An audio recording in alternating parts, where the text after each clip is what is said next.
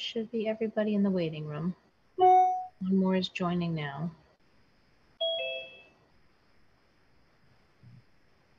Okay.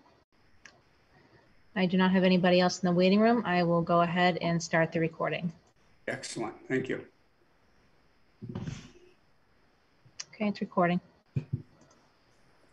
All right, it is um, Thursday, January 27th, uh, 7:02 PM. Uh, This is a meeting of the Bolton uh, Select Board. Uh, Tonight's meeting begins with a hearing on a complaint um, of a uh, determination of a nuisance or dangerous dog. I will now open the hearing. It being Thursday, January 27, 2022, at or after 7 PM pursuant to the provisions of general laws, chapter 140, section 157, and the town bylaws, I am opening a public hearing concerning a possible violation of general laws, chapter 140 and section 110 of the town bylaws regarding a dog named Schnatzy, uh, owned by Miriam Meyer at 22 Kettle Hole Road, Road in Bolton, Massachusetts. Ms. Meyer was notified of this hearing by delivery of a notice on Jan- January 12th, 2022, and this notice shall be incorporated and made part of the record. I'd like to now go over uh, the general order of uh, proceedings here. Uh, first, we will hear from the complainant, Peter Kovacs, on the basis of the alleged violation. Next, we will hear from the town's animal control officer as any to any investigation she has conducted regarding the alleged violation. After uh, the animal control officer, we will hear from the dog's owner. The owner or its counsel may present a response to the allegations and the ACO's investigation and may ask questions of the complainant and the ACO. Then we will entertain testimony from any other witnesses with respect to the alleged violation. The select board will then have an opportunity to ask questions with respect to the alleged violation and solicit the input of the ACO the ACO being the animal control officer. The board will then deliberate on the information presented and consider whether to continue this hearing or render a decision. All testimony and questions should be addressed to the chair, not to other speakers. Uh, all testimony in this hearing will be under oath under penalties of perjury. So this is a legal proceeding. Anybody who intends to or wishes to speak at any point during this hearing, um, we need to swear you in. We're going to swear in all the uh, part, possible participants uh, early in the meeting, uh, at this point in the meeting, as opposed to doing them individually as they speak. So if, if there's any possibility that someone may want to speak, um, at this point, I need you to raise your hand, raise your right hand so that I may uh, properly swear you in. Uh, does that, does that include counsel as well? Uh, it wouldn't hurt. Okay, happy to do it. Okay, thank you. Um, to all those who are planning to speak this evening, I, I see, let me just make sure I've got Ms. Meyer, uh, Mr. Gubelini, Yes, is that correct? And I don't sir. know who, who that is with you. That's, that's um, Miriam Meyer next to me. Oh, okay, Miriam Meyer, all right. Yes. Uh, I'm sorry, I have another, so I have another person named Miriam Meyer presenting here. Uh, Mr. Chairman? Yes, That's a, um, uh, a dog trainer who's uh, in the Meyer home tonight and on a computer provided by Miriam Meyer. So the, the name reads Meyer, but she can identify herself for you if that's, or I can for you. It's, her name is Brenda Bear. okay. Uh, Ms. Bear, you've unmuted yourself. Um, Yes, you sorry. intend to participate? Okay. And um, I don't see Mr. Kovacs. Oh, there you are. I'm sorry. You're right there. And is your right hand raised? Thank you. Do you swear to tell the truth, the whole truth, and nothing but the truth, so help you God? I Yes, do. I do. All right, thank you. So recog- when recognized uh, by the chair, please state your name and address for the record, everybody. Um, So I ask now that Mr. Kovacs come forward and present his complaint. Uh, my name is Peter Kovacs. I'm at 14 Kettle Hole Road in Bolton. And um, simply, uh, as I, I don't know if anyone has received the letter that I sent uh, to the town.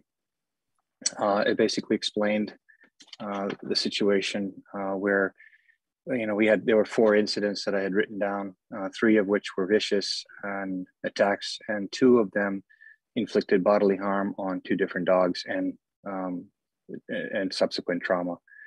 Um, I just, you know, this uh, last incident that uh, occurred, I, I, can't remember exactly when. I'm sorry, uh, a few weeks back at least, um, Christmas time area, and um, the uh, once it happened that time again, I, I just became a concerned um, citizen, a concerned resident. Uh, I was, um, I regret that I didn't report uh, the incident that happened years ago and uh, the uh, one of the other um, neighbors that uh, sent me a, uh, the, the vet bills and uh, her a statement. You know, it's not sworn statement, but it's an email statement, and she she just she apologized for not being able to um, do this formally, but um, uh, it is what it is right now. But anyways, um, we both regret that we didn't report it.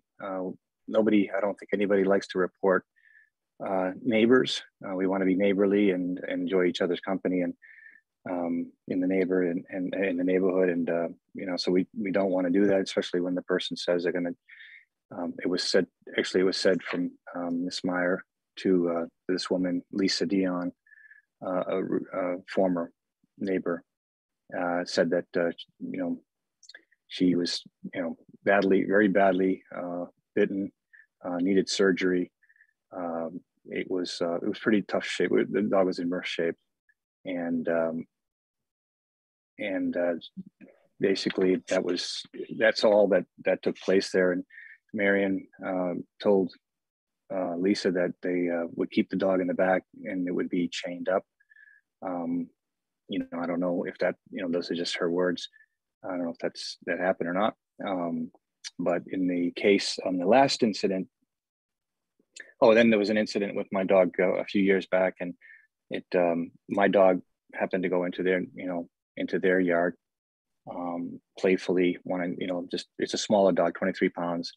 Um, I don't know how many how heavy the German Shepherd is, uh, Shotzi, but um, anyways, uh, Toby went in next door, and um, the uh, Shotzi uh, attacked Toby. Had it. Uh, I took a you know big bite out of him or whatever, bite into him, and um, and then somehow the, Toby got away or loose and, and ran towards our neighbor, I mean, towards our, our yard. And uh, thankfully I was there and I was able to get in, you know, get in between and, and, and fight off the dog because he was just chasing my dog down uh, pretty badly. Um, the dog, our dog did have uh, bite marks and it was really, it was in trauma for at least a week. It was a, a really frightening experience um, for, for all of us, uh, uh, myself and my, my daughter as well. And then this one and, and this most recent uh, event was uh, Christmas time, and um, the uh, the uh, Shotzi um, apparently came through. I, I, don't know who made the dent or whatever, but there must have been a railing that was uh, busted, and it jumped. You know, it, it, it pushed its way through and chased after my dog. We were just playing out in the yard, and it came into our yard, um, attacked uh, Toby, went after Toby, and my my son thankfully was playing with him right there, and was able to uh, hit him off with a um, um, with a, a, ball launcher, a dog ball launcher, and um, so the dog um, ran, you know, basically ran away. Um, that's the that's the part that's um, the dangerous part. The nuisance part is um, the past several years, the dog it's is an open it's an open railing fence. I don't know like a pool fence. It's uh, maybe four feet high, um, and it's twenty feet away from our property. And we're always out there. And every time we're out there, um, the Shotzi, the German Shepherd, is running up and down the fence line, uh, banging up against it, um, barking. Uh, just it's just a scary. It's it's a frightening thing to be close to, and um, anyways, we, we kind of live with this for, for many, many years as, you know, as neighbors and, um, I don't, you know, I think Miriam works, the kids are off to school and the dog's out there all day. Um, so it's just not a pleasant, um, it's not pleasant to be the neighbor of this, uh, of this, of this situation. Um, so those are the two things, um, that I want to bring forward. Um, I don't, I don't, uh, I don't know if you're looking for any kind of, you know, things that I'm looking for a resolution or not, but and I'll leave that to, uh, to the chair. All right, are, are there any other details about the most recent incident that you think are pertinent and you, you want to bring forward? I mean, you mentioned some of the things. I just want to make sure we. Uh, Um, well, I mean, I, I, I mean, I'll, I'll get a little bit more detail. The dog, I mean, uh, the dog was attacked. My dog was, um, you know, basically attacked, and thankfully there were no, um, uh, you know, there no um, visible bite wounds. Uh, s- thankfully, my son was there, that you know, to break that up very quickly. Um, and right afterwards, uh, Miriam and I, we we we met. I mean, um, you know, as a neighbor, I like I said, I I I feel badly for um, for them as well. I mean, nobody wants to be um, the person um, accused of having a dog that's attacking other dogs. And and you know, I'm very I try to be very sensitive about this. And and of course, didn't say anything, but but this time it was different. Um, I just uh, I was the dog, you know, busting through the fence like that, and it just reminded me of every day in the past many years that I have been listening to the dog and and hearing it back and forth. So it's it's been it's been a very uh, a very uh, uncomfortable um, scenario for us to be in living here and always being in our backyard and having to you know i would say 80% of the time the dog is in the backyard and uh, it's always barking when we're out there and even at night sometimes it you know she would it would be out late um, i'm not sure what their their their home policy is with the dog we have not heard the dog since. The dog has not been out in the backyard since. I know Miriam has repaired, uh, you know, quickly repaired the fence. She also put, I think, chicken wire or something to to uh, uh, to make it a, even a more safe um, barrier. The unfortunate part is that it's still very visible, and it doesn't change the um, the dynamics um, as far as I'm concerned. And the and the fear is is there. I mean, my wife was very my, my wife is traumatized thinking we bring children in here little toddlers and so forth and and if this ever would this dog ever attack a, child, a toddler and so that those thoughts you know go through our mind and uh, anyways like i said we just felt to, that to be a responsible resident was to make sure that we bring this forth and and uh, bring it to the town's attention and uh, let the town decide what uh, what's what's the best thing to do here for us as neighbors and for other neighbors so that's it. Thank you very much. Okay, thank you. Uh, next, we will. Um, Mr. Chair, may I just ask Sure. um, that uh, I, I know Mr. Kovacs referenced um, a letter he had submitted. I don't know if Yeah. all the selectmen have that in their possession. um, And make sure it- that, that that it is is in the- part of the it- record. It's in the selectmen's packet. Okay, very good. all right. Uh, at this point, we will be hearing from Phyllis Tower, the Animal Control Officer. Phyllis. Yep. Um, so on December twenty-sixth, I got a call from the uh, regional dispatch that uh, Miriam Meyer um, had called to say that her dog had gotten to the neighbor's yard um, and had an altercation with the dog. Um, I called the person whose dog got attacked, which was Peter Kovacs. I spoke with him to get his side of the story because he was the one that was out with the dog. Um, he did state that in order to prevent the dog attack, that his son had um, stopped the dog with the ball thrower, and that um, German Shepherd returned back home again. The following day, on December 27th, early in the afternoon, I went to speak with Miriam. Um, we went out back and talked about the fence. Um, and I, I asked her what had happened. She said the first time she realized anything had happened, her dog was in the backyard, fenced in the pool area. Her daughter looked out the window and said, There's a dog in the driveway, which is the front yard. And she says, Well, whose dog's out there? Ours is in the backyard. Um, so it was shocking to her to realize the dog wasn't where she had left it. Um, she said that the son had come over and explained what had happened. And um, so after that, um, Miss Meyer and I walked around the fence in the backyard or was able to view all the fence. And it is a pool fence, um, perhaps aluminum, and it does, it's around the pool to keep, because it's an underground pool, it's not a dog fence. It could be appropriate for the right kind of dog. Um, however, the vertical rods on the fence are compromised, not just the area where the dog went out, but there's several places, whether it's from the dog or something else, I really don't know. Um, Ms. Meyer wanted to know what my opinion was. Um, we both made suggestions back and forth. And um, about a half an hour later, um, we were done. She said, in order to keep the dog secure until something is um, physically put up, she would leash walk the dog in the backyard. Some of the things we talked about was she has some stockade fence on one side. Um, whether it's to continue that all the way around. However, this is a tough time of year to do that. Um, she had a good suggestion of hanging up a tarp. There's actually some black fabric that they make for that. Um, that will stop the view of the dog. However, the dog's going to still hear and smell the other dog playing next door and still be excited to try to get out. Uh, we also discussed the pool gates that are held together um, with the bungee cord. If the dog pushed on it, they'd, it would push far enough to get through it. Um, that is not how the dog appeared to have gotten out. It appears to have gotten out between some rungs. Um, so the dog, like I said, when we left, the answer was that she would walk the dog on a handheld leash until something was done about the fence to make sure it was secure.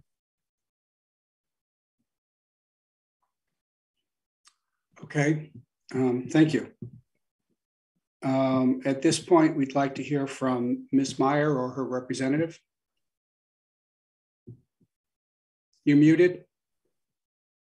So, Mr. Chairman, my, my name is Peter Gubelini. I'm an attorney. And on my address is 70 Meditation Lane in Lancaster, Massachusetts. And at the outset, I want, I want to say this. Um, Just like Mr. Kovacs, um, Miriam wants to be a good neighbor. And so as I go through this, I, I won't be long. And of course, Miriam will be here to answer any questions that the board may have or, or anybody else actually. Um, I, I want to say, and, and Miriam wants to say that, of course, she wants to be a good neighbor too. And um, so th this is these hearings are always difficult. I know they I know they are because I was a selectman for nine years in a town well east of here some time ago in a past life. So um, I, I, sat on boards and, and, listened to these hearings too. So I know how difficult they can be, and and uh, I commend you for, for, doing the job you do.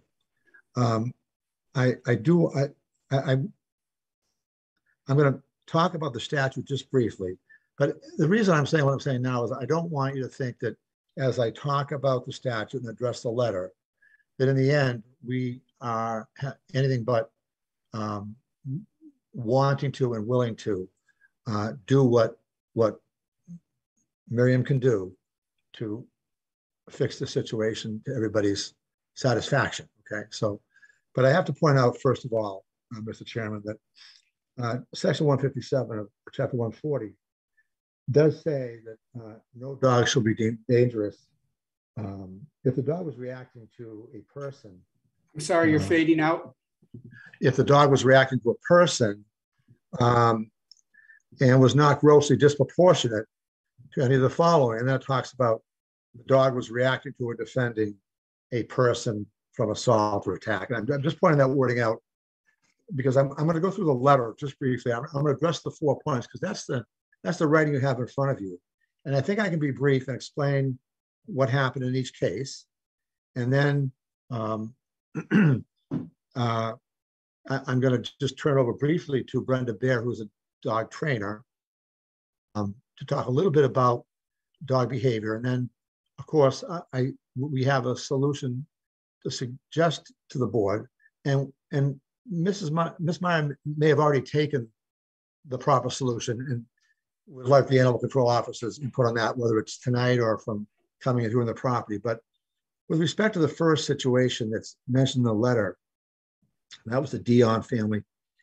Uh, that was approximately six years ago. And, and uh, Shotzi in that situation um, you know, I- sometimes things happen and they're, they're unfortunate. And, and Shotzi did in, in that case, uh, and number one in, in Mr. Kovacs letter, uh, have physical contact with another dog. And, uh, that dog was injured. Uh, and Miriam, um, then, uh, contacted the, the dog owner, uh, paid the bill in full. Um, and after that point, there were no more altercations between that dog or, or Shotzi, uh, despite the fact that um, the Dion's continued until they moved out of town. I mean, uh, to a different part of town, to walk the dog back and forth in front of uh, the Meyer household, and there were no more incidents between Shotzi and that dog. But um, you know, we we do acknowledge that that, that happened, and it would be wrong to, to say otherwise. Um, uh, with respect to the second uh, item that um, Mr. Kovacs has brought up, on that occasion, Shotzi was was leashed, and um, Mr. Kovacs, although we don't mean to um, infer anything other than just stating the facts, continues to use the word attack. Um, in that particular case, um, the dog, uh, Shotzi, uh, she was on a leash uh, and being walked by uh, Mary Meyer's father. Now, there was a dog uh, that uh, that the two came upon, and uh, Shotzi got excited and, and reacted and went towards that dog. Um, and as that happened, uh, Miriam Meyer's father fell down. Now, Mr. Kovacs uh, makes it sound as if uh, the dog was so strong that, that, that no human being alive could, could have restrained the dog. Miriam Meyer's father was 90 at the time and frail. Never, nevertheless, he held on to the leash. The, the did not get loose, and Shotzi did not do anything uh, to that poodle. Um, and um, in fact, um, th- that that same couple, um, they're the ones that walk the dog every day by the house even now. So um, that that couple, um, they they park their their car right below uh, Miriam Meyer's property every day to this day, and walk their dog uh, by the house, um, apparently without a fear and without any further altercations or problems with um, with Shotzi. Um, and I'm going to get to the, the fencing in, in, in, in just a moment. And I'm almost through, Mr. Chairman. But um, with respect to the um, the incident between um, Mr. Kovacs' dog, Toby, um, the first incident that he mentioned about, that was about four years ago. And what happened on that day was that Miriam and her children were uh, playing at the far end of their driveway, uh, the end of the driveway furthest from the street. And uh, Shotzi was with them. And at that point, um, you know, Toby did come down, and that's Mr. Kovacs' dog, Toby, did come down across the property and then down the driveway into the area where the kids were playing. Uh, and Miriam was there too. And Shotzi did, um, uh, at that point, uh, apparently feeling as if, and the statute talks about this directly, um, about disproportionality between uh, the fear the dog might have seen that maybe perhaps some of its people were going to be attacked. It, it did go after Toby. It, it, it actually did that. And um, th- there were injuries, which Miriam, you know, offered to pay for, but that dog had come onto the Meyer property and down to where the kids were playing. And, um, you know, dogs do have fights, uh, Mr. Chairman. And, you know, was the behavior disproportionate to the fear that, or, or the, what the dog sensed? Um, you know, I, I guess I'd argue no, but, you know, um, bottom line is that um, in any event, um, what I want to point out really is that in Mr. Kovacs's letter, uh, when he speaks of that incident, um, just like what'll happen when I get to the next incident, um, he says I screamed at the dog, meaning Shotzi, and hit him, and uh, the dog retreated. Um, the dog at that point, even being struck by Mr. Kovacs, didn't attack Mr. Kovacs. Uh, the dog retreated to its own property. But that incident did take place in just in that fashion. And then finally, with number four, on that day, um, from all that we can tell, uh, Shotzi was in its fenced in area in the backyard, which the animal control officer has described to you. And there was a, a part of the fence that was not, I guess you'd call it broken. And um, Mr. Kovacs' son was in the backyard with a ball thrower throwing a, a, a ball for, for, for their dog. Now, one thing that Shotzi loves most in the world is chasing balls. I'm just saying that because what happened is Shotzi did uh, get, get through the fence uh, and went into the yard. Now, it, I, I wasn't there. I didn't see Shotzi's demeanor or make any observations about that. But what we do know is that Shotzi went into the yard and um, Mr. Kovacs' son uh, used the ball thrower to, to hit Shotzi, um, apparently fearing, in some fear. And, you know, I, I, I'm, I'm not demeaning that at, at all. That's not an unnatural reaction. Uh, and, and, at that point, uh, Shotzi again retreated to its own property. It did not attack Toby on that day. Uh, and it did not attack the son who, who, who struck him on that day. It, it, retreated. And when Mrs. Miss Meyer talked with the son, uh, despite what may have been said by others regarding attack attacking the dog, the son said straight out, and I think the animal control officer may have heard this later on, I'm not sure, that Shotzi didn't bite Toby that, that day. Um, not at all. Um, and it it didn't, and Shotzi didn't uh, do anything um, and to, to the son, It Shotzi retreated. Um, so, you know, uh, we agree that perhaps um, something, you know, that, that there's got to be some resolution, but I, I want to tell you that um, what what uh, Miriam Meyer did um, and uh, right away. I mean, this this whole incident happened just after Christmas, um, and the animal control officer was at Miriam Meyer's house on the 27th of December, which she's already told you, and they and they had a, a long discussion about what might be done to make the backyard more secure. So, um, in fact, they talked about adding a chain, not, it's not chicken wire, it's not some flimsy uh, uh, fencing. It's it's chain link fencing that uh, Meyer had attached to the whole length of this metal fencing um, that surrounds the whole entire backyard, uh, going from the, the, corner of the house out along the property line somewhat, not necessarily exactly parallel to it, then back on the back to a, uh, a stockade fence, which the animal control officer uh, described for you. And then, of course, the rest of the yard's fenced in as well. So, and, and that was done at the suggestion of the animal control officer.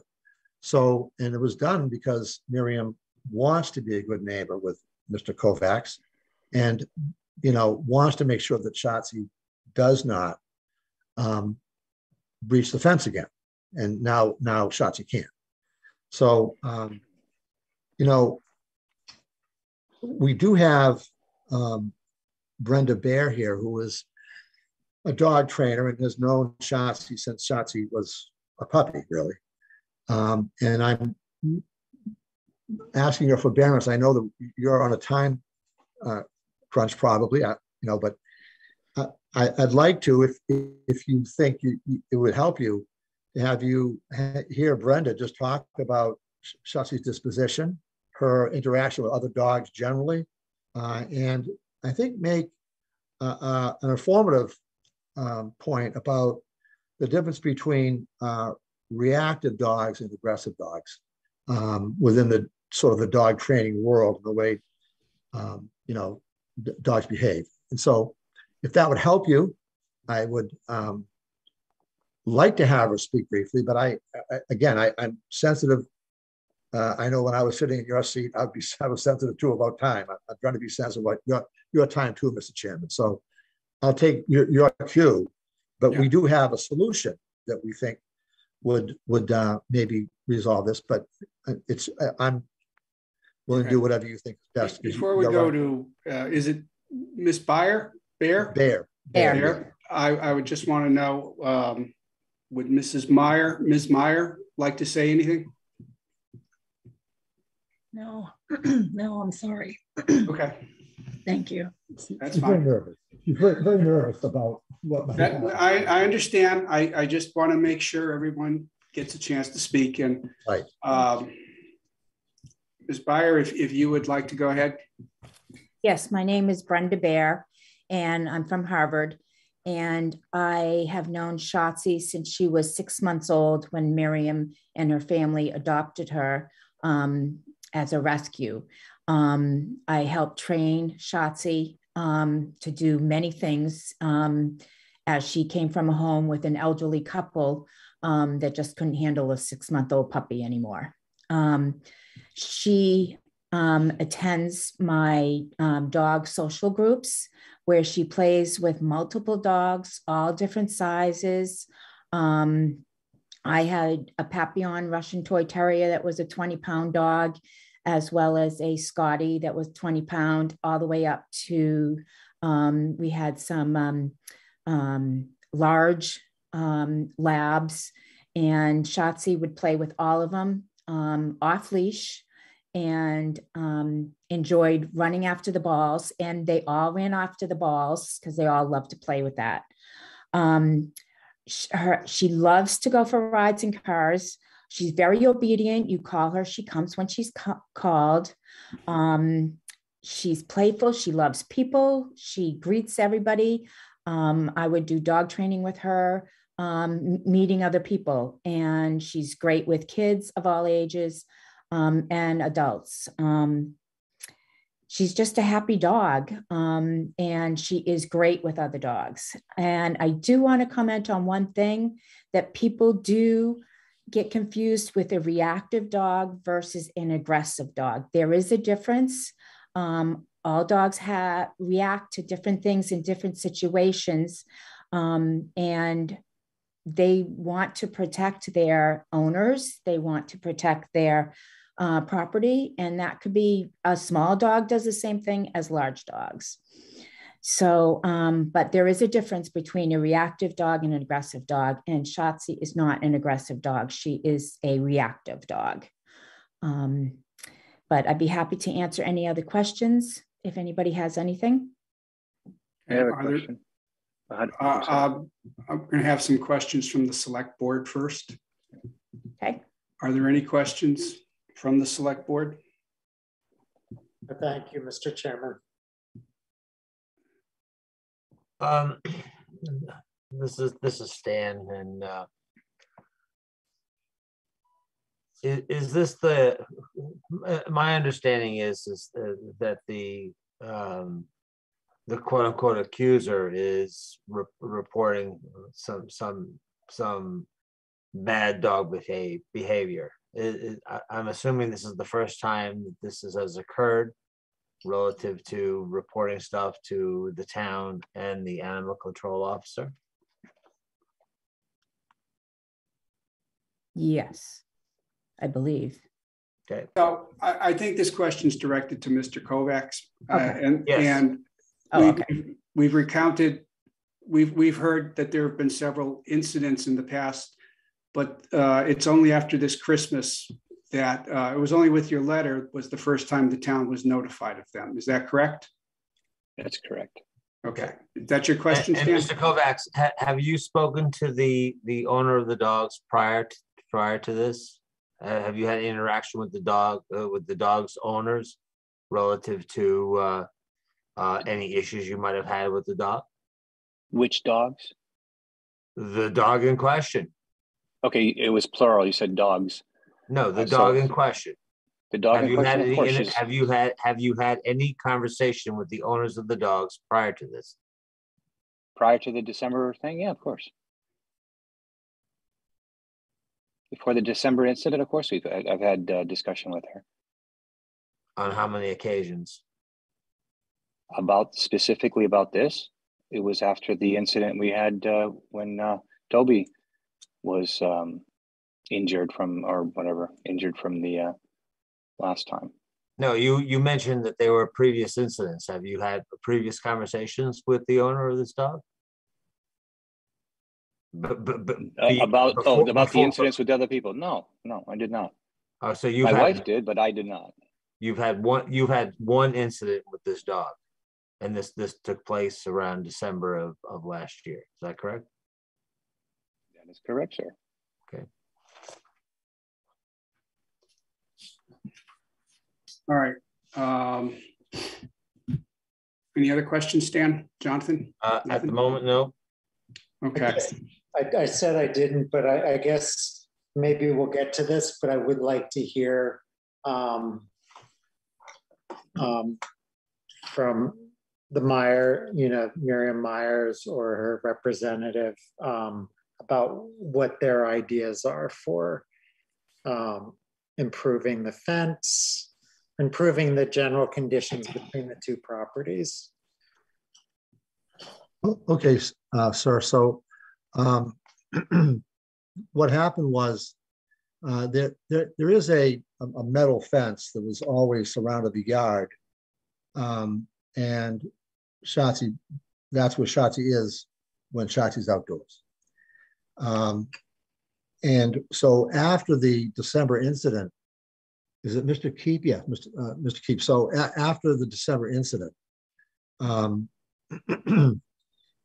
as I said, the animal control officer came out to meet Miriam Meyer. And I, I guess I should point out too, that after that, that incident that was described when the ball was being thrown and so forth, uh, just as an aside, I think it's interesting to note that it was Miriam Meyer that called uh, the animal control officer before anybody else did. But in any event, um, when the animal control officer came out to the, the Meyer property, um, they had, they had a, quite a discussion about the whole situation and the best thing to do. And uh, Miriam was very interested in making sure that she did the right thing with respect to uh, this whole situation. And so one of the uh, the main recommendation from um, it, it- that came out of the discussion, I think it was there was a back and forth about it, but the main uh, the main thing that came out of that discussion was uh, perhaps a, a chain link fence put inside and along the whole stretch of the the uh, the metal fence would then prevent there being any possibility of a breach, even if some of the fencing and it's all really quite good shape. There was one weak area, I guess, uh, that happened. The dog happened to find on the day that it went across and then came back home. But now there's chain link fencing attached to the metal fencing. So that fence can't be breached uh, by, by Shotzi anymore. And, um, and again, that was responsive to uh, the animal control officer um, who came out here and had quite, a conversation with, with, with, Miriam. And I think that, uh, so that, that's what, what was done. And, you know, I, if the board felt like the animal control officer should, should come out and inspect that, that, that work and con- confirm that it's been done and done well and done securely, I, I think that should satisfy the board in terms of uh, future breaches of the fencing area. Okay. Um, Does this fencing go all around the yard or just along the property line with the Kovacs? Mr. Chairman, it goes all around the yard completely. The entire backyard is fenced in. Um, With this metal fence that's been added?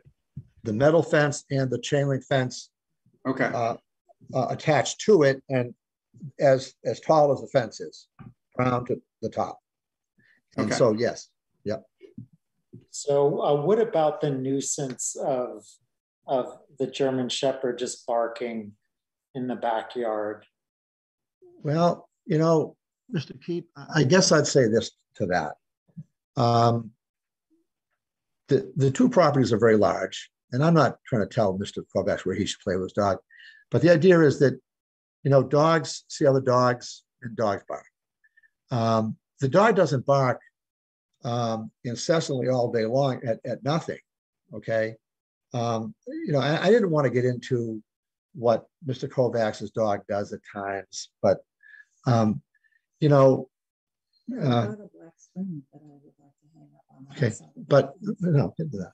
So, but to address the nuisance, Mr. Keep, um, what Miss uh, uh, Miriam Meyer is willing to do, in addition to the chain link fencing, is uh, to take another suggestion that the animal control officer and she came up with, which was to put a black, not non-see-through fencing um, or, or uh, sheathing or screening along the same fence. So the, the, the visual, uh, the ability of the, of the dogs, the dog to see what's going on in the yard is reduced. Um, and perhaps that will uh, eliminate uh, Shotzi barking when the other dog is in is in the yard. Um, now, you know, often Toby does come across the property line onto the Meyer property, and I don't want to get into, you know, everyone loves their dogs, so I, I don't want to get into that part of it. But she's willing to take that step, Mr. Keep, to to address the nuisance. I mean, she's trying to be proactive, properly reactive to the situation, and she's very, very amenable to suggestions you may have, but she's willing to do that much, and um, she will do it, just like she did the chain link fencing. Thank you. okay, at this point, um, I would let Mr. Kovacs speak again. Uh, But please, again, if you have any questions, please direct them to the chair and not specifically to, uh, yeah, address them to Um, me. Thank you, to, uh, Mr. Chairman. Um, you know, it's I listened to everything and it's wonderful, and, and I appreciate everyone's uh, time. And um, I just find it uh, the a couple of things that just kind of uh, was strange to me from uh, Brenda. Um, that when you speak of reactive and aggressive, um, the dog went went through the fence and at a high speed chased down my dog in my yard. And for anyone to say that's a reactive versus aggressive, I, I'm I'm at a loss, but I don't I'm not a dog trainer.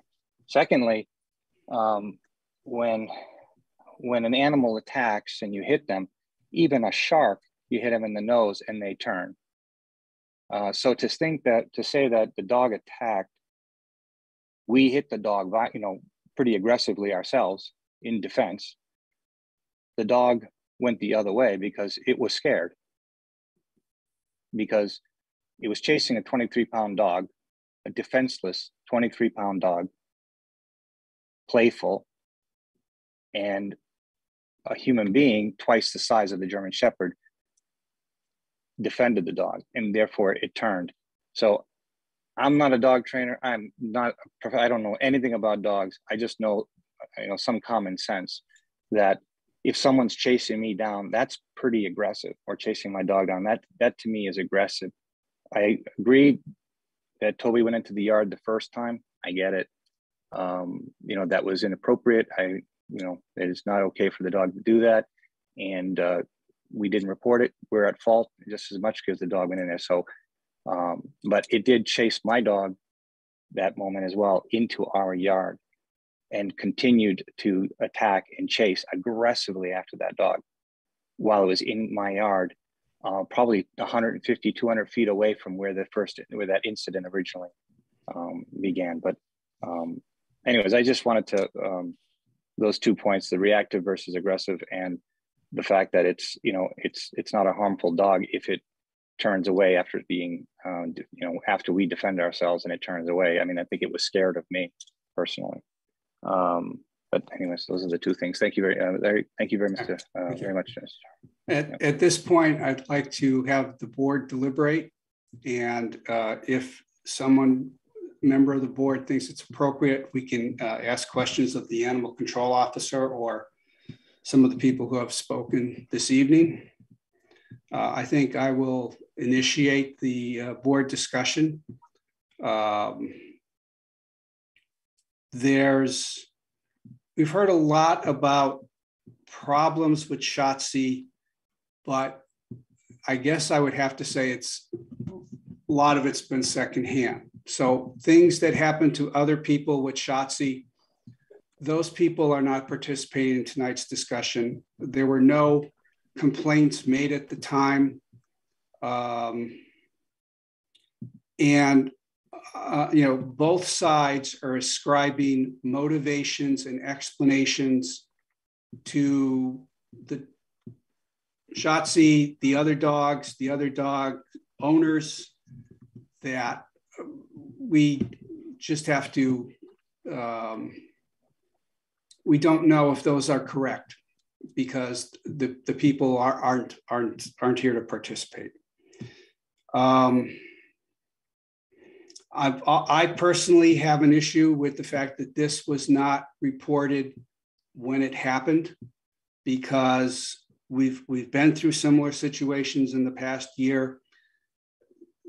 The animal control officer is trained and experienced in uh, asking questions, in doing determinations of uh, taking pictures if, if it's appropriate, or the police have, have taken pictures when it's appropriate. The animal control officer does a, an investigation of, you know, who was where, when, when did this get discovered, what was going on. Um, I, I believe that that's valuable information that we are lacking in this case. Um, clearly, um, I, I think there's there's I don't think there's any dispute that there there has been one- at least one occasion where Shotzi got, and it doesn't matter if it's it's uh, responsive or aggressive. The behavior is the same, and it's the behavior that we're dealing with, not the motivation. So it doesn't matter if if Shotzi's asking out of out of aggression or if she's uh, behaving reactively. Uh, the, the behavior was inappropriate in either case, and that's what we need to deal with. Um, I do I do recognize that it was Ms. Meyer that contacted the animal control officer first, and that it appears to be uh, both in, in from what uh, her attorney says and from what the animal control officer has has stated that she is being proactive in m- making changes to prevent the recurrence of, of a similar incident. So that's where I am at this point, and I invite the other selectmen to comment. Well, Mr. Chairman, thank you very much. I mean, I, I can't, I can't agree more with your statements. Um, I think uh, at this point in time, um, the fact that uh, Ms. Meyer is, is taking some, some steps to deal with the situation. And I also, uh, at some point, would like to hear from the animal control officer as to what her recommendations might be. But I don't think, at least at this point in time, this situation has risen to the level of a dangerous dog uh, situation where we need to vote on that right now. I think uh, there's a there's a bit of of um, information that that hasn't been presented, and the fact that you indicated that uh, a number of the the items that uh, uh, Mr. Novak has, has presented were, were never reported. I think um, we should, uh, at least in my opinion, allow Ms. Myers to uh, institute whatever changes she needs to, uh, she's suggesting to make, uh, and see where the situation uh, moves in that direction. So that's all I have to say right now. Um, I, I agree on not wanting to vote um, on on uh, designating this dog dangerous. Um, I, I, would like to hear from uh, Phyllis Tower, the animal control officer. And also from Mr. Kovacs, just about what, you know, his response to what's being proposed. Um, yeah. Um, well, let me point out that if we decide not to declare Shotzi a nuisance dog, or if we decide not to declare her a dangerous dog, this does not prohibit such a declaration in the future. I'm sorry, let me silence that. And should there be, uh, a, you know, a nuisance dog, repeated barking, inter, uh, behavior that interferes with the enjoyment of your property, Mr. Kovacs, or if there's a, another more dangerous situation, I, it, it, there's nothing being said or done here tonight that would prohibit you from uh, reporting it and us acting on this again. Correct. I understand. So I, I want you to understand that.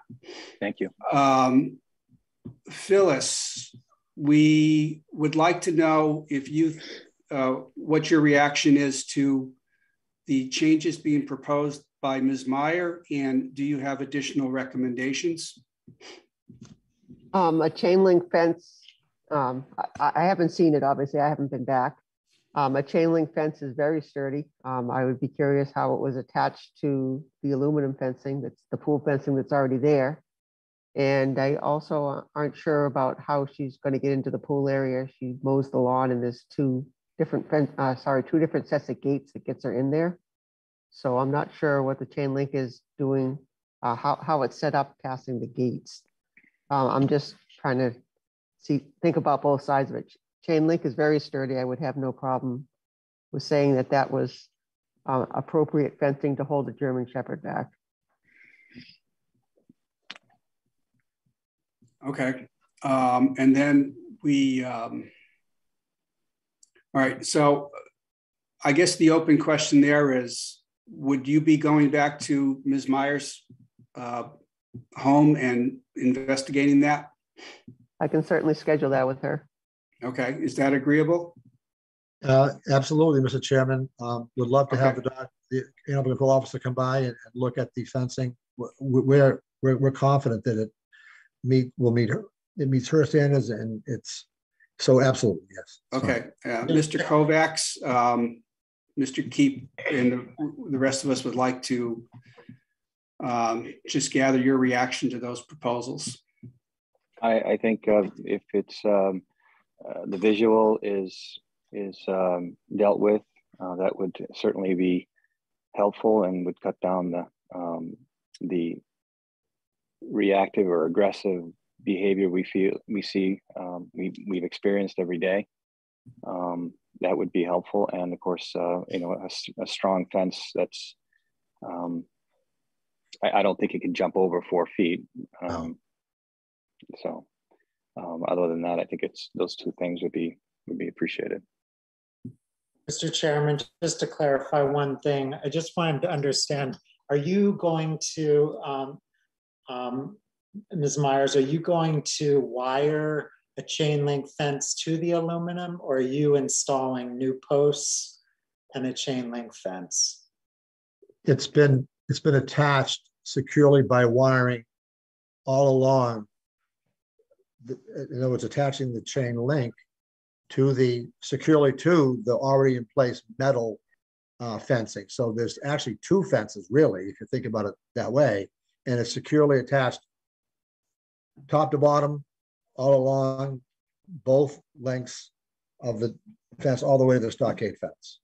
So it's it's double fencing really if you think of it that way, Mr. Keep. But it's you've you know the chain link is flexible, so you've just wired that to the aluminum swimming we, pool fence. Well, we had a professional come and, and do it as if it were being attached to whatever would normally hold a, a chain link fence, which isn't actually as much uh, uh, it- you know, metal or aluminum th- th- with a chain link fence. So it's, it, it is actually not as flexible because it's against a very hard surface, which is the aluminum fencing or metal fencing it's, it's, it's up against. So it's really not flexible. But, uh, Does that make sense? I, I don't know if, you know, I, Yeah, um, I'll wait for Phyllis to take a look. It, it sounds, sounds good. Okay. All right. um, My question now is directed toward uh, um, Ms. Murphy, the town's attorney. Um, The selectmen has to have a consensus to, to not take any action this evening. Is it the appropriate thing just to call an end to this hearing, or is there some other process we need to follow?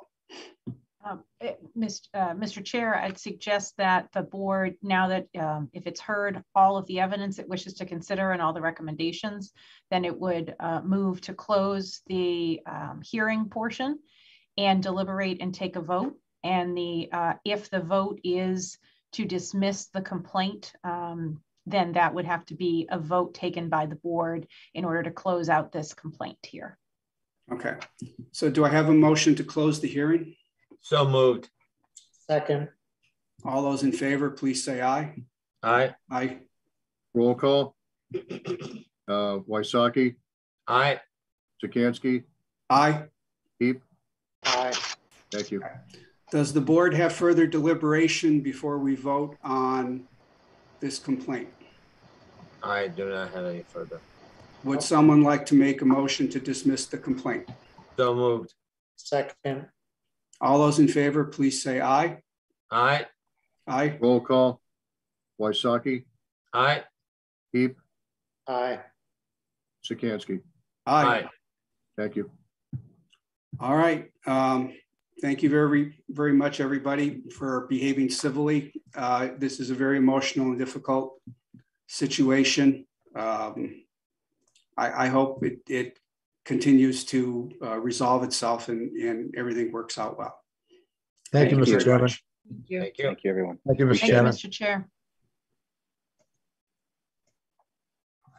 Next on the agenda is a recommendation to appoint David Gammons to the Cultural Council.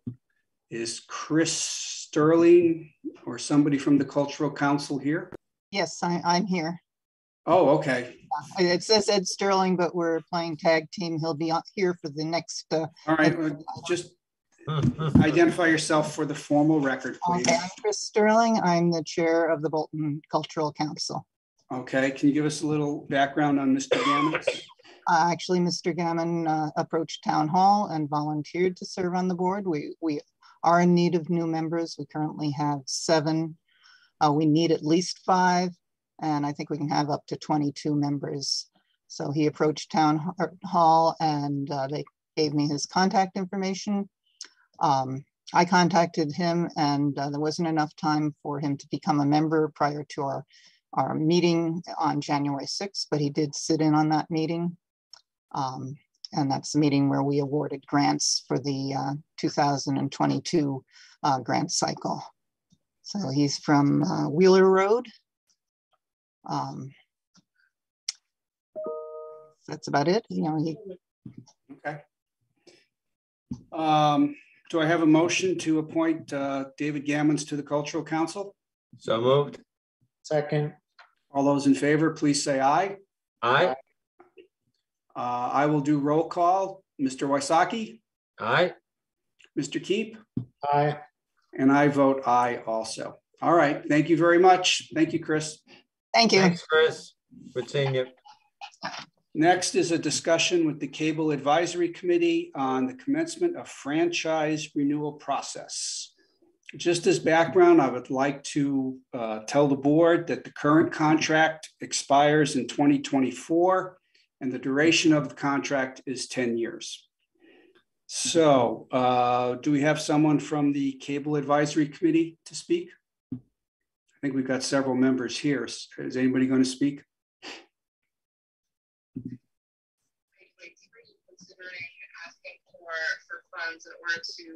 I can barely hear you, whoever you are. so really. Oh, Ed, okay, Who you, who did you want to, you wanted one of us to speak? yes, All right. yes. Um, To bring a little bit up to date on, on what the advisory committee is going to do Okay. and All right, I was, okay, I was the, the head of the committee 10 years ago, so I'm willing to speak if you want.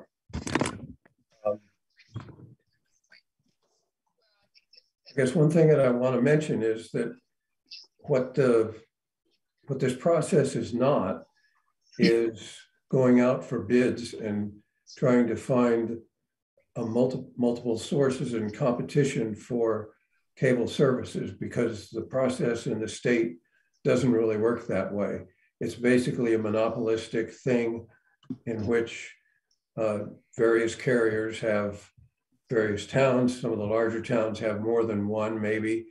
Um, but uh, a town our size is not in a position uh, really to, to go out shopping for the, the least cost uh, cable provider there might be.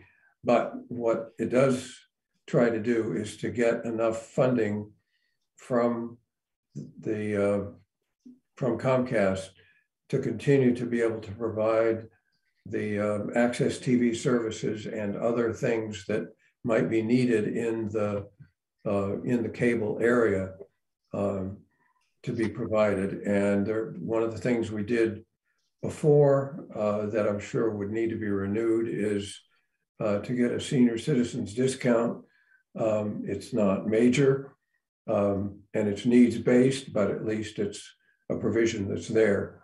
Um, and so the so the idea of the committee is to sit down with the government people from the uh, from Comcast to uh, and, to work out a new contract and to really talk with our neighbors, with our uh, with other towns, and the way that that they have dealt recently with Comcast or whatever it might be, that whatever their providers are, to try to get essentially a fair deal for the town that gets us uh, in a better position than we were before. Um, and if there are any services that we particularly want for senior citizens or something like that, um, then it could uh, could include some of those. Um, and so that's what um, that's basically the process that we went through years ago, and that's the process that I would envision uh, going from here. Okay. So currently there are three members on the committee. Uh, Correct me if I'm wrong here, Ken, it's yourself, it's uh, Bob Johnson and Daniel Cochran. Right. Okay. Uh, I believe there are positions for seven people on the committee and we have four applicants. Is that correct? That I don't know. That's on your side. Okay. Yes, I believe it is. I only All right. know that Ed Sterling is because he All right. and I spent the last two days together, but but I don't know anything about the other people. Okay, so I have that Ed Sterling of uh, Still River Road is a candidate. Uh, Jean-Pierre Van Stiergem, I'm sorry, sir, is, uh, did I pronounce that correctly? Did very well. Jean-Pierre Van Steegem. No All issue. right, thank you. Thank you. Um, Francis Aubrey Mor- Morgan of Golden Run Road and Jeffrey Larkin of Quaker Lane uh, have offered to be on this committee. Uh, Would the selectmen, how would the selectmen like to proceed? Do you want to have these candidates introduce themselves? Would you prefer to just go ahead and vote based on the information that was uh, sent to us that, that they provided? What would the selectmen like to do? I'd, I'd vote them all in. That's fine. Okay, uh, could you uh, make a motion to that effect, please? Uh, I'll make a motion to appoint uh, four new members uh, to the uh, Cable Advisory Committee. Okay, and again, that would be Jeffrey Larkin, Francis Aubrey Morgan, uh, Jean-Pierre Van Steerdegem, and Ed Sterling. Um, Stan, did you second that? I will second that. Okay, all those in favor, please say aye. Aye. Aye. Roll call. Stan, Aye. Jonathan, Aye. and I am also aye. So I thank you very much for volunteering. Um, Good luck. Good luck. Um, You know, and just remember, call Comcast at like 5:30 and ask them what they're doing, okay? Um, If I could, Mr. Chairman, if I could make one more comment. Um, One of the people who I've talked with who is more than happy to work with the group uh, in both an information and consulting role is Nikki McGatchy of the uh, Bolton Access TV. Um, The operation of the station is very much affected by Comcast and the funding that we get. Uh, And she's well connected to other communities to tie us into what other people are doing and getting and understands the technology needs that we've got. And so we'll be working very closely with her as we uh, go through this process. All right, thank you. Thank you very much, Nikki. Thanks, Nikki. Of course. How does she do that without moving her lips? Isn't that amazing? Look at that smiling face. Look so happy. So It's, happy. it's like one of those puppets, you know, you don't have to move anything. You just hear the voice. It's just, it's just wonderful. All right, thank you. Thank you very much. Uh, Next on our agenda is an update from the, uh, to the select board uh, from our representative on the Regional Agreement uh, Amendment Advisory Committee. This is uh, a group of people from Bolton and other towns that are reviewing the regional agreement for the um, school system. And the uh, chairman of this, the lead person on this is Brian Boyle. So Brian, go right ahead. Uh, Good evening, Welcome. everybody. Thanks so much, Mr. Chair, for giving us some time. Um, I just want to quickly give an update on where we stand in the process before going into some of the potential proposed changes. Um, So I do think that the RAAC is getting close to finishing its substantive review. Um, But based on the fact that the RAAC advises the school committee, so whatever we vote on will be submitted to the school committee. And the school committee needs to make sure that DESE approves it. All of that has to happen before a revised regional agreement gets before the voters of each of the three member towns. It looks like the timeline for that is now aiming for next annual town meeting in May of 2023, not May of 2022, as we had thought maybe a couple months ago. So with that um, note on process out of the way, I, I believe you all received the memo that I had sent that got into some of the potential changes, and I'll just briefly highlight those for the benefit of folks that are just coming to this for the first time. Um, one of the main reasons that the regional agreement needed to be revisited was this issue of the, the total number of members. And so the current agreement specifies that it shall consist of eight members, but because of the one person, one vote uh, principle, um, we wanted to build flexibility that allows the region, that allows the composition of the school committee to be revisited based on updated census information for the member towns. So although the agreement will now specify that it presently consists of 11 members, if in 10 years or five years there were a change in population, the, the membership for each of the individual towns could be adjusted again, and that's kind of spelled out in a formula that the agreement links to. Um, so that's kind of the main, the main compositional change. Um, we specify some of the sources of powers and duties that weren't in the original agreement. We are, this may be of interest, I guess, to, to the board. At this point, the um, RAAC is recommending a change to the provision regarding the location of schools. And so I think you might have seen in the memo, we're deleting the provision that says that regional school district schools serving students from all district towns shall be located as near as feasible to the geographic and population centers. At least that's the recommendation at this point. The rationale is that we figure that geographic centrality is always going to be a factor that's considered, but putting it in the agreement might hamstring the ability to be to you know to select a site that doesn't meet that particular criteria. So wanted to share that with you as a potential change. Um, another thing of interest to, to the select board is that at the moment we have introduced language that would um, ask the school committee to, to give quote due consideration to the financial constraints of prop two and a half on the member towns when they're developing the budget. Um, and then we're also considering adding some language around information sharing uh, norms before the budget is made public at the hearing. Um, but that's still, I, the RAAC is still hashing a little bit of that out. Um, most of the rest of the stuff is, you know, it, it's more just being specific where there may have been ambiguity in the past, like about which exact enrollment figures are being used. Um, and then uh, the audit advisory committee provision in the regional agreement hasn't really been discussed in detail yet, but um, I know both of the other Bolton reps on the committee are here. You may have questions for them. There's been a suggestion that we introduce uh, more of a calendar for the process that the audit advisory committee should follow and also potentially require a regular uh, forensic audit.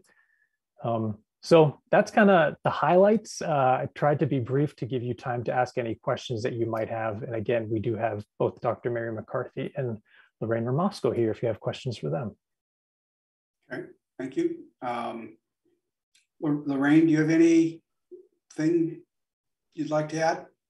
Not a lot. Um, thank you very much, though, and thanks, Brian. I think the the thing I'm mostly concerned about is the audit advisory having seen several over the years, a couple of groups go through the process. It was kind of cumbersome and they weren't really clear exactly what their role was. And these were people that were really capable of getting things done for us. But more than that, the I think the forensic audit is something that was discussed and having a regular cadence to it. Um, because I think um, it was discussed a couple of years ago when we went through the last one as a, a regular cadence only because there are sometimes habits that groups of people kind of slip into and and not everybody on the board is um, a financial expert uh, and also when a new superintendent comes in they don't necessarily know what they're inheriting so if they have an opportunity to have a, a, um, a little more of a deeper dive and it's not that expensive it will help i think quell some of the concerns and the fears. Um, it's just another way to open up the coffers um, for the community to be able to see what's going on. Okay, yeah, thank you. Makes sense. Mary, do you, do you see the other uh, significant issues before the committee?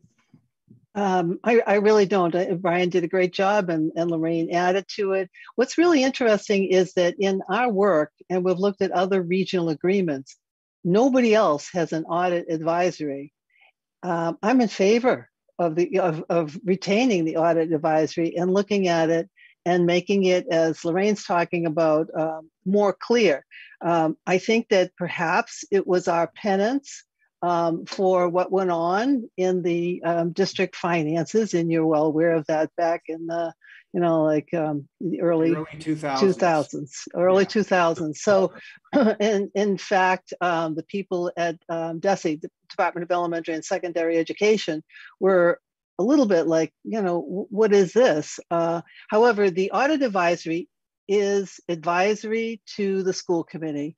And um, and I and I think we can shore that that aspect up. And that's the last part that we need to review but I, I want to thank Brian and Lorraine and all the people who have been serving on the RAAC. Uh, it's a great group, um, diligent work, and uh, we should have it um, pretty soon for Good. school Good. committee. Okay. Are there any questions from the select board?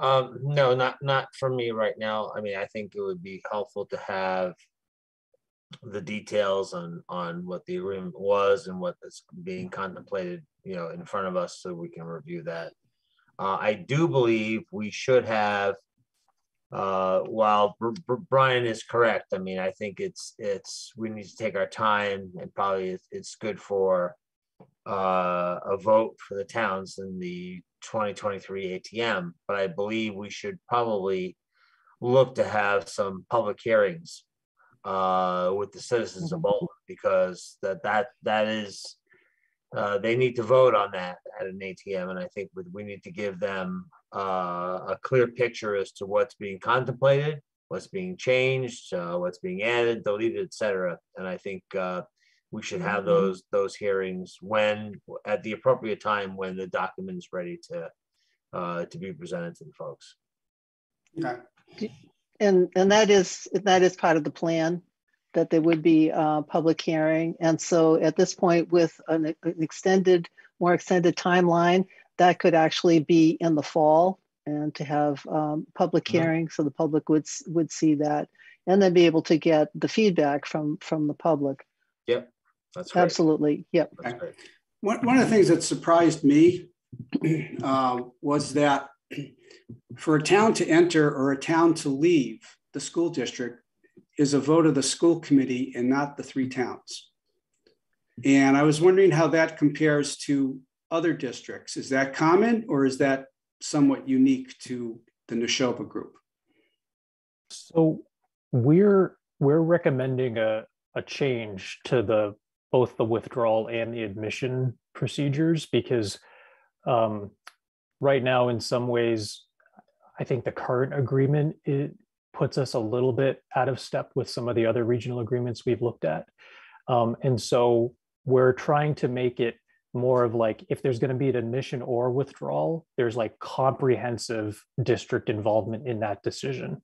Um, whereas previously, it could just be one town plus a majority of the rest of the school committee, but the other member towns may not have as much to do with it. Um, and and the key the key difference is that in the rev- revised version that's being proposed, um, a withdrawal or an admission would require that the whole regional agreement also needs to be reviewed for potential amendment because you know when you're a three member district the loss of a town or the gaining of, of a town does change everything so you may want to look at everything with fresh eyes Okay.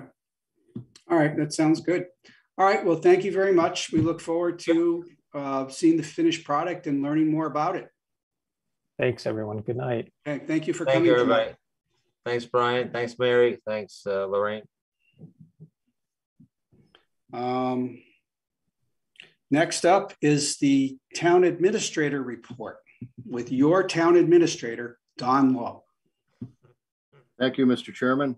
Um, I'll start off with the regular COVID-19 update. Um, As I had hoped, uh, we're seeing some very positive trends.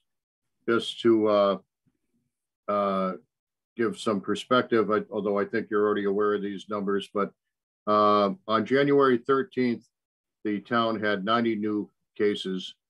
On January 20th, uh, we had 80 new cases. Our, our number today that uh, as uh, posted for January 27th is we have 32 new cases. So the number of new cases have dropped significantly. Um, The state positivity rate when we were at our peak was about 23.3%. The positivity rate reported today was 9.48%. Um, and as of January 20th, the vaccination rate for eligible residents is over 97%, and 68% of eligible residents have received a booster shot. Uh, I would also like to note that the uh, uh, Nashoba Associated Board of Health continues to hold vaccine and booster clinics weekly, and that information can be found on the Board of Health coronavirus information page on the town website. Uh, and as I segue into um, one of my next uh, uh, topics, I would like to point out that when Congresswoman Trahan was in town today um, for the uh, celebration that I'll reference in a minute, um, she noted that of the 37 communities that she has in her congressional district, Bolton's vaccination rate was the highest of any community in the district in excess of 97%. Uh, so that was that was great news to hear. Um, and just re- reaffirms, um, you know, how successful Bolton has been in that area. Um, before I move on to the uh, uh, the ceremony from earlier today, um, just one brief grant update. Uh, several weeks ago, um, I wrote a grant application um, to apply for a grant for um, uh, to help ed educate staff on uh, cybersecurity awareness. And uh, the town has been awarded that grant. Um, I have started, uh, I've done pretty much all the pre-work for the administrative portion. Uh, it's going to be uh, pretty much a year-long effort. There are different different ways that you could do it. I chose for a, a year-long effort. Um, um, we've got 23 people, including myself, who will be involved in the training. And um, I'm looking forward to getting started on it. Good. Sounds Um, very good. Congratulations, Don. Thank you. And it, it, it also should help us with our MIIA uh, insurance. We, we should get credit for that training and it should have a positive impact on our insurance rate. Um, finally, I would just like to mention that we did have the Forbush Mill Road Corridor Revitalization Ceremony this morning at 1030. Um, I think the temperature, I was told the temperature had risen to 14 degrees by the time we started. Uh, it was wonderful to have uh, Congresswoman Trahan there, Representative Hogan, um, Secretary Kennealy, all three members of the select board were there, which was great to see. I really, everybody appreciated that. And we had a nice turnout overall. Um, I think uh, 14 degree weather can only help move the speaking portion along, which it did. Um, and uh, but I thought I, I thought it went well. Uh, Representative Hogan and Congresswoman Trahan were certainly pleased with the turnout, and um, I just wanted to acknowledge uh, and thank the the three select board members for for attending. Thank you. So, um, unless any of you have any questions, uh, that's all I have for this evening. Yeah, Don, I just wanted to follow up on Congresswoman Trahan's um, comment about uh, the infrastructure bill and the money that will be coming to the state and hopefully to Bolton. And uh, so I just wondered if we could come up with a list of projects that we might be putting forward for those monies. I would like to, uh, but first I need to see the details. The further, the, the detailed announcements haven't come out yet. Uh, as uh, Congresswoman Trahan referenced two, two weeks or so ago, I participated in a Zoom meeting that she had for the rollout. And it was basically the announcement of what's coming in February, but we were told that the details would be coming in February. Um, one thing that is exciting is that there, uh, it was stated that there will be money uh, meant specifically for rural communities. So certainly we are a rural community by anybody's definition. Uh, so that, that I can't wait to see the details on that. Uh, there'd be money uh, targeted for schools, but I don't know what that means yet. Um, and infrastructure. So there, there's going to be an array of things. I think we're going to have some nice opportunities there. And I'm really hoping that um, by the end, well, hopefully by the February 17th select board meeting, I'll be able to give you an update on that. Great, thank you, Don. Thank you. Okay, thank you.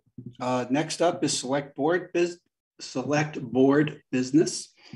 Are there any public service announcements from members of the select board? Yes, as I do occasionally, um, when you go up to the transfer station and you're dropping off your bottles and cans, I still see a lot of bottles and cans that have uh, deposits on them going into the recycle bin. There is a uh, small shed at the top of the hill when you come into the uh, transfer station. That's for the Boy Scouts. Uh, they really would like to have, if you're going to get rid of your soda cans and any other bottles and cans that have deposits, drop them off at the Boy Scouts uh, shed at the transfer station. That is the main source of revenue for the Boy Scouts in this town. It is greatly appreciated that if you do that, we would we would uh, be very happy with that. I mean, I see lots of beer bottles, soda cans, and whatnot, uh, but separate them out, and drop them off. It's not that big a deal. Uh, the other thing is, while I applaud the fact that we are one of the highest towns in, in the state of Massachusetts, or at least in Lori Trahan's district, that uh, have gotten the vaccine, we still can do better. So uh, you need to get the vaccine, you need to get the booster. So please, please do that. That's all I have to say. The, the only thing I want to say is, uh, you know, it's, it's just scouts now. Because it's, um, it's not just Oh, Boy Scouts. Oh, anymore. that's right. That's right. It- I, I, I, I, you know, eh, having, you know, being from a scouting family and having a scouting family, you know, I, I want to make sure we all recognize the changes that have taken place. So thank you. Well, thank you very much. I, uh, I'll, uh, next time I do that, I will, I will be more correct, but, uh, Okay. you- you understand the, the intent. Yes, yes. Uh, Next up is the approval, approval of Animal Control Officer Designation 2022 forms for Phyllis Tower and Pamela Johnson. Those are included in the uh, packets that were sent. I believe all we need to do is vote on um, these designations. Is that correct, Don? Yes, that, that is correct. I will move that, Mr. Chairman. All right. All those in favor of designating uh, Phyllis Tower and Pamela Johnson as animal control officers, uh, please signify by saying aye. Aye. Aye. Roll call, uh, Stan Wysocki, Aye. Mr. Keep, Aye. and I will also agree. So it's unanimous. Thank you. Uh, Next is a request from the town planner Valerie Oorthuys for approval of the intermunicipal agreement extension for making the Connections Microtransit Program. I could not do that in one breath. Um, So moved. Second. All those in favor, please say aye. Aye. Aye. Roll call, Mr. Wysocki, Aye. Mr. Keep, Aye. and I also agree. Thank you.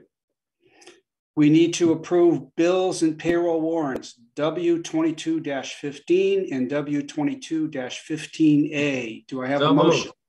Second. All those in favor, please say aye. Aye. Aye. Mr. Wysocki, Aye. Mr. Keep, Aye.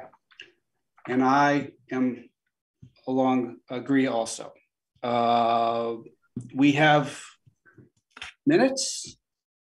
I thought we were going to have minutes, but I don't have the specifics of them. I, I believe we have minutes, Mr. Chairman. I believe they were, um, I, I believe we got the responses back, but Jenny um, has those responses and she's unavailable to join us tonight. So I suggest that they be deferred to the next meeting. Okay, that would be fine. Um, In that case, our next uh, uh, item on the agenda is to enter executive session pursuant to Mass General Law, Chapter 30A, Section 21A, for purpose number three, that is to conduct strategy with respect to collective bargaining, as the chair finds that an open meeting may have a detrimental effect on the board's bargaining position for the Teamsters Union, Local Number 170, and for the Bolton Police Union, Local 286, IUPA, AFL-CIO, to approve executive session minutes, the board will return to open session uh, solely for the purpose of adjournment. Um, I, I take that back. Um, No, the board will return to open session for a possible vote. Do I have a motion to enter executive session? So. Second. All those in favor, please say aye. Aye. Roll call, Wysocki, Aye. Keep, Aye. Sikansky is I. Okay. uh, We will. I will go ahead and start to move everybody session. over. Okay. Oh, There's Not many.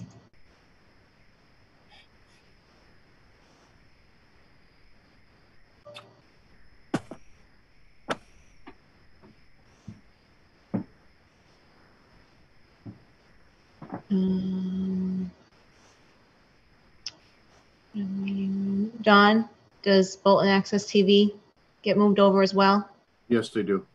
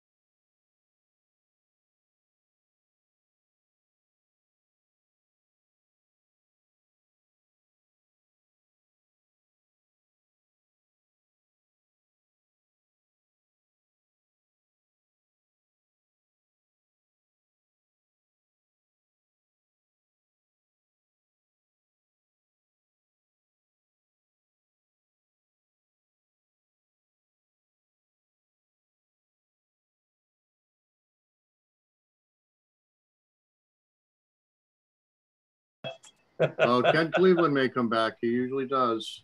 Ken Cleveland, yeah. Uh, Ken, Ken, how are you, Ken? And Joining back in now. There is one, the only other name on there is the, um, the kiosk here at Town Hall that Phyllis was using, but I know she's not there. She's left, so Okay. I'll just leave her over there in the waiting room.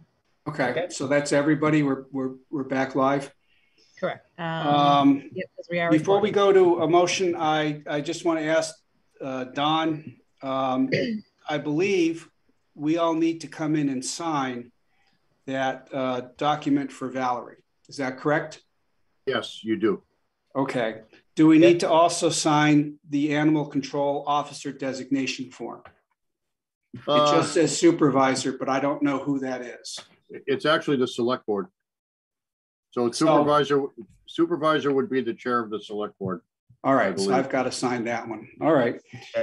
Um, in open, now that we're back in open session, um, do I have a motion to um, approve the memorandum of understanding with the Teamsters Union Local Number 170? So moved. Second. Uh, all those in favor, please say aye. Aye. Uh, Mr. Wysocki, Aye. Mr. Keep, Aye. and I am also in favor. Do I have a motion to adjourn? So moved. Second. Mr. Keep, roll call. Aye. Mr. Wysocki, Aye. and I am also in agreement that it's time to end the meeting. Kristen, Don, thank you very much. Everyone Thank else, you. Have a good night, everyone. Good night, everyone. That's Take right. care. Good night.